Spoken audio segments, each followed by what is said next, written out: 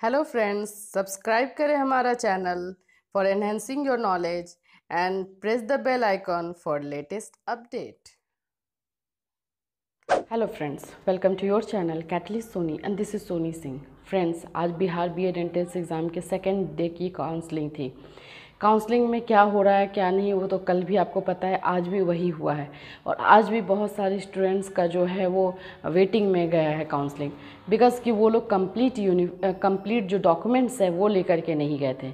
कोई जो है वो आवासीय लेकर के नहीं गया था, कोई इनकम सर्टिफिकेट लेकर के नहीं गया था तो ऐसे बहुत सारे कैंडिडेट्स हैं जो कि कंप्लीट डॉक्यूमेंट्स नहीं लेकर के जाने की वजह से उनका जो है वो वेटिंग में डाल दिया जा रहा है काउंसलिंग वो क्लियर नहीं कर पा रहे।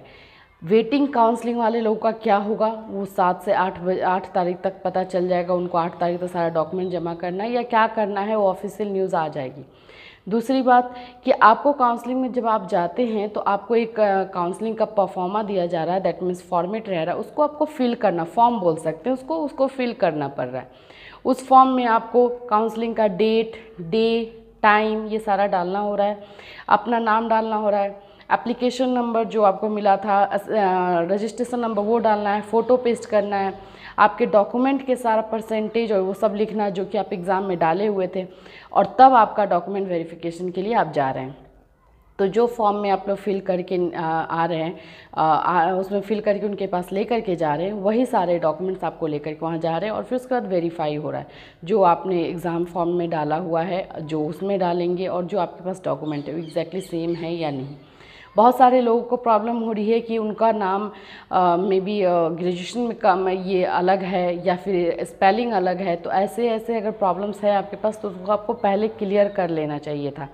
अगर क्लियर नहीं किए हैं तो भी आप लोग कॉलेज में अप्लाई कर दीजिए क्लियरेंस के लिए।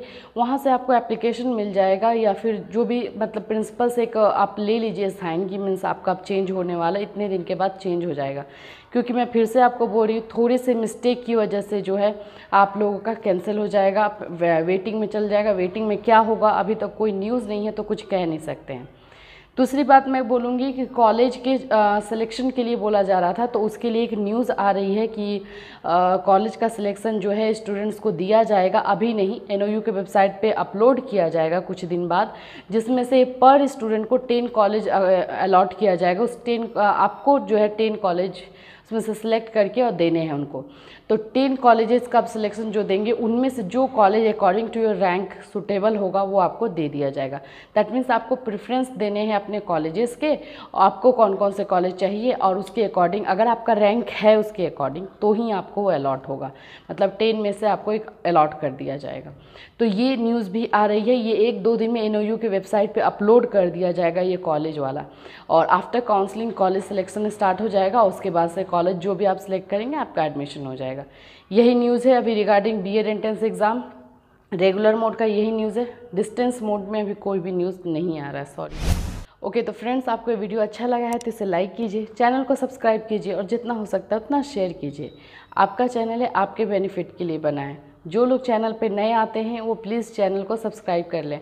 और बेल आइकन जो दिया गया है, उसे भी क्लिक कर दें, क्योंकि अगर आप बेल आइकन क्लिक नहीं करते हैं तो जो भी लेटेस्ट अपडेट मैं डालती हूँ या फिर हम लोग लाइव सेशन लेते हैं तो आप लोग पास नोटिस नहीं जाएगा। तो जिससे आप लोग, हम लोगों से कनेक्ट नहीं हो पाएँगे तो बेल आइकन को ज़रूर प्रेस कर दें। तो फ्रेंड्स फिर मिलती हूँ दूसरे वीडियो के साथ, तब तक के लिए हैव अ नाइस डे